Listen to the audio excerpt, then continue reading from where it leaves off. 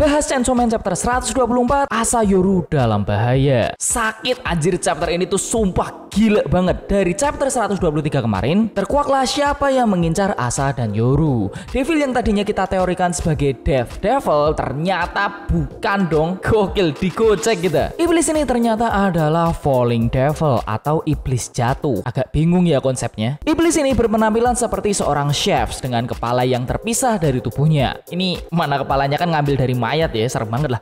Terus kekuatannya ini juga ngeri banget. Di mana keberadaannya akan membuat manusia tenggelam dalam ketakutan yang luar biasa. Manusia yang masuk ke dalam kekuatannya ini akan terkena efek dari kekuatannya yaitu adalah jatuh ke atas. Aneh kan? Dan semakin dalam ketakutannya semakin tinggi dia akan jatuh. Terus orang tersebut akan masuk ke dalam sebuah pintu yang tidak diketahui menuju ke mana dan setelah membuat Yoru beserta Asa masuk ke dalam jebakannya ini kita dibawa ke chapter 124 Yoru merasa kesal terhadap Asa. Kau mulai kehilangan kesadaran. Dengarkan aku dasar bodoh. Asa malah semakin ketakutan dan terjatuh. Yoru jadi panik. Asa, cepat katakan bersamaku, pisau kuku. Dan tiba-tiba kuku jari telunjuk Asa terlepas dan berubah menjadi sebuah pisau. Tentunya Asa di sini kesakitan. Asa akhirnya jatuh ke tanah dan tubuhnya ini langsung diambil oleh Yoru. Di mana orang-orang juga bingung dengan apa yang sebenarnya terjadi. Yoru lalu berkata, ternyata aku masih jatuh ke bawah. Asa, kau fokuslah dengan rasa sakitmu. Itu akan membuatmu lupa dengan rasa takutmu. Lalu Yoru berusaha memahami situasi yang sedang terjadi. Trauma akan masa lalu terus di ditambah gravitasi berbalik, tidak semua manusia juga merasakan efek ini. Jadi nama iblis itu trauma, gravitasi, bulan, bunuh diri. Tidak, kekuatan iblis ini tidak membuat rambutku melayang dan ketakutan yang dirasakan jauh lebih mengerikan. Falling Devil atau iblis jatuh. Kenapa dia muncul di sini? Apa ini kebetulan? Atau jangan-jangan ini perbuatan Famine Devil? Di dalam Yoru, Asa masih gemetaran. Yoru pun lalu tiba-tiba menyayat telapak tangannya sendiri yang membuat Asa ikut merasakan sakit. Yoru langsung berkata, rasanya sakit kan? Kau cukup memikirkan rasa sakit ini, kau mengerti?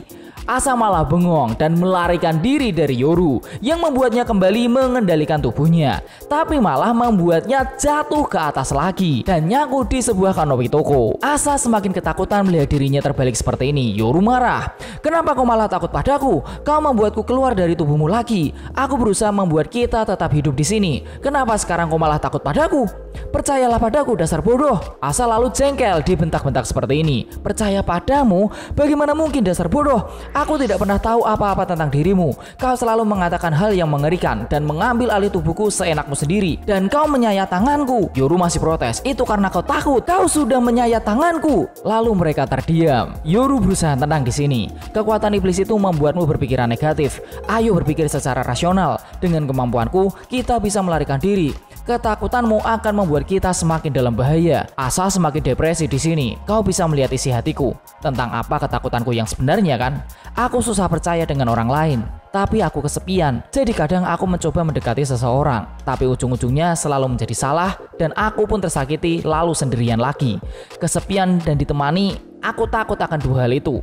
Anjir, kalau dipikir-pikir ini yang diomongkan Asa deep juga ya. Kita lalu dibawa ke suatu tempat di mana mayat para Devil Hunter sedang berjejeran dan si Falling Devil ini membawakan sebuah makanan. Untuk supnya aku sajikan Derut Atelanta. Aku nggak tahu cara nyebutnya yang benar ya. Sebuah potage yang terbuat dari telinga, lidah, dan hidung dari Devil Hunter yang berusaha membunuhku. Dan orang di depannya ini, anjir ini gambarnya disturbing banget asli. Tangan dan kakinya posisinya begitu lagi dan mulutnya dijahit.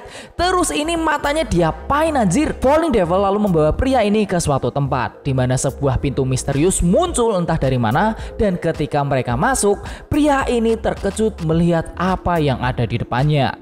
Dia melihat sebuah iblis berbentuk ulat besar yang sedang memakan manusia.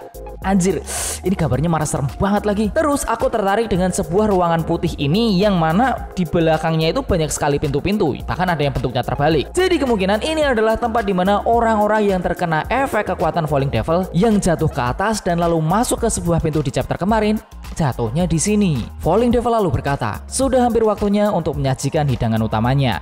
Namanya adalah Asa Root Yoru, penggabungan seorang manusia dan War Devil. Dan chapter ini selesai. Anjir, gila men. Chapter ini tuh bener-bener disturbing, keren, bikin mikir ah campur aduk pokoknya. Tapi meskipun sebenarnya aku agak kecewa ya si iblis ini itu bukan Death Devil tapi Falling Devil. Tapi aku nggak masalah sih dengan kemunculan Falling Devil ini, apalagi ditambah Devil yang bentuknya kayak ulet ini ya tambah gak ketebak nih ceritanya. Nah itu adalah pembahasan chapter 124 dariku seperti biasa guys. Tanggapan, komentar, teori silahkan drop di bawah.